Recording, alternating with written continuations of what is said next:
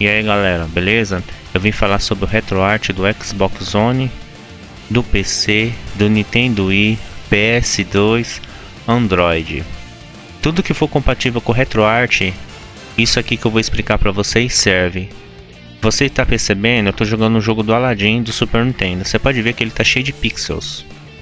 Se você desligar a opção bilinear, a imagem vai ficar embaçada, mas vai ficar melhor os gráficos, mas não precisa. Aqui a gente vai usar o shader. Shader, shader, alguma coisa assim, eu não sei pronunciar direito, ok? E, e melhora muito os gráficos, entendeu? Então eu vou mostrar quais, quais pessoas usam. Tem algumas pessoas que gostam daquele estilo daquelas TV de tubo antigamente. Eu vou mostrar para vocês, chamado Skyline, né? Eu vou mostrar para vocês, ó. Shader. Tá, liga a opção, ele vai estar tá desligado. Liga ele. Carregar. Aqui, conforme que eu estou usando o RetroArt do PC, não estou usando no Xbox porque eu estou fazendo uma manutenção no meu Xbox, limpando o cooler, passando pasta térmica, tudo. E eu vou demorar para me fechar o Xbox. Então, quando você estiver no RetroArt do Xbox One, vai ter essa opção e essa. Talvez pode ter essa terceira, essa outra aqui não sei se vai ter não, porque eu não lembro. Porque eu estou usando a do PC, ok? Essa daqui é a versão do RetroArt 1.8.4 para baixo. Essa versão que, que eu estou usando é 1.8.5. A última atualização do RetroArt, ainda está em fase beta ainda, ok? É, a gente vamos já este shader aqui, ó. Shader GLSL. Clica nele. Aí vou te mostrar a diferença como é que fica. Muitos usam isso aqui, ó.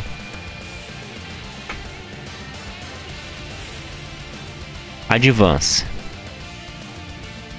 Eu vou mostrar. Ele fica assim, ó.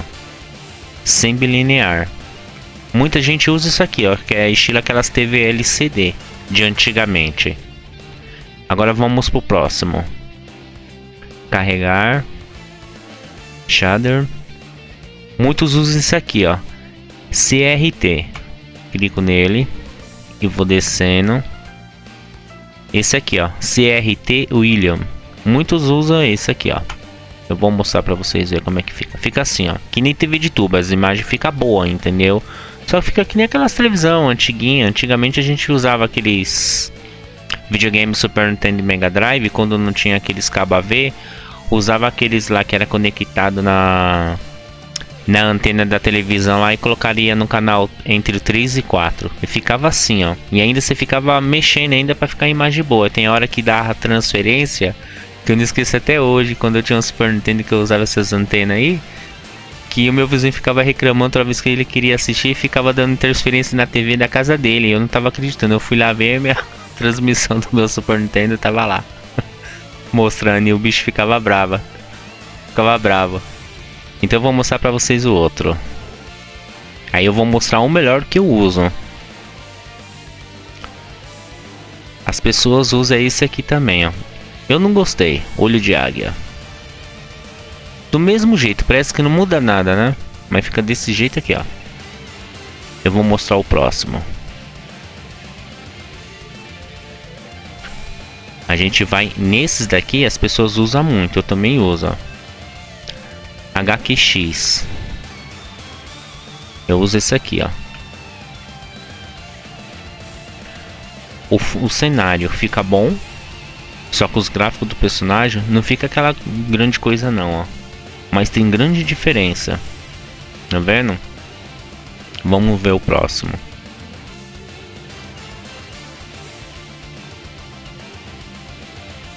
Linear. Muitos youtubers que mexem com RetroArt, outros consoles Recalbox, Batoceira, usam esses daqui, ó. Esse aqui não tem. Esse Scali FX. Muitas pessoas usam. Eu não gostei muito não. Mas vou mostrar pra vocês verem como é que fica. Algumas coisas fica lenta. Entendeu? Dependendo do shader que você usa, ó. Fica lento. Entendeu? É muito bonito, mas fica lento demais. Até para mexer no menu. Vou ter que desligar e ligar aqui de novo. Pronto, o shader sumiu. Vamos descer lá embaixo. Não é todo shader que funciona não, viu? Esse aqui também é bom. Scala HQ. Você coloca entre o 2 e o 4. Coloca o 2. Como é que fica? Fica desse jeito. Desfoca um pouco o fundo do cenário. E alguns personagens dão um pouco de brilho, entendeu? Só que fica um pouco fosco. Vou colocar um personagem um pouco mais perto aqui. Olha como eles ficam. Agora eu vou pro próximo. Só para vocês entenderem. No final do vídeo eu vou falar para você qual é o melhor. Porque já estou fazendo logo esse teste para vocês não ficar testando um por um, entendeu? Esse aqui é com óculos 3D, esse aqui é para 4K, esse aqui é para 4K. Esse daqui eu não lembro, eu não fiz o teste. A gente fez Scali FX, Scali HQ. Eu vou mostrar o outro HQ, o 4.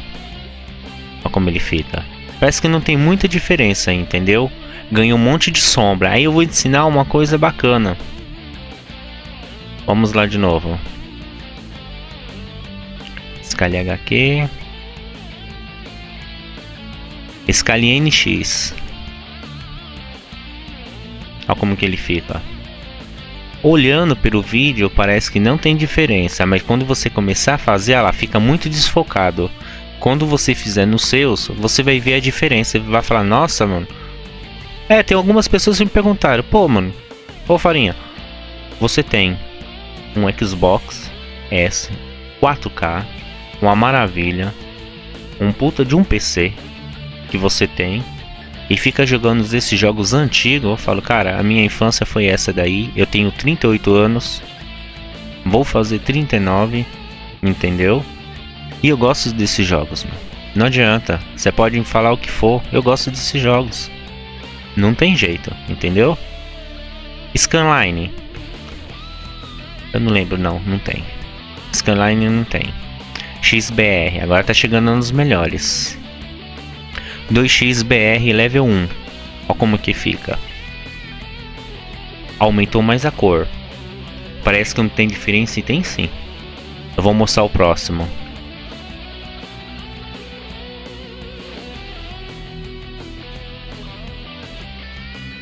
Vou mostrar Super 2x BR 3D 2P ficou mais colorido, só que um pouco focado. Até que deu uma melhoradinha assim, ó. não ficou aquela grande coisa não. O melhor que a gente vai usar é esse aqui, ó. Vou mostrar para vocês. Bilinear. Vamos usar esse bilinear aqui para vocês verem. Olha como é que fica. Fica bom, entendeu? Mas isso aqui, as imagens mais, é para aquelas TV de plasma. Que tem aquelas imagens meio espelhadas, né? Software. Vamos ver como fica o software. Bem, aqui eu não vi diferença, parece que tá a mesma coisa que o outro. Nem todos os shaders funcionam.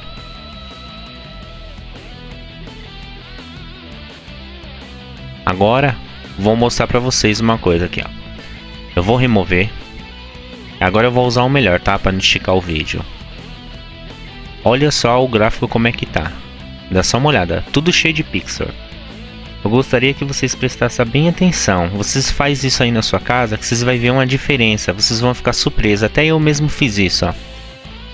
Olhe bem, encosta. Se você estiver usando no computador ou, ou, na televisão, fica mais ou menos um palmo, mais ou menos de nessa TV, um pouco próximo mesmo. Entendeu? Fica um pouco próximo assim, ó. Olha bem pro personagem, observa bem. Você vai ver cheio de pixels, vai ficar muito embaçado. Chega perto mesmo da tela da sua TV ou do seu monitor. Chega perto e olha bem para esses gráficos. Olha bem aqui, ó, o Aladdin. Você observa bem. Vou até chegar mais perto aqui para você ver a diferença, ó. Tá vendo? Agora vamos usar o melhor shader que eu gosto.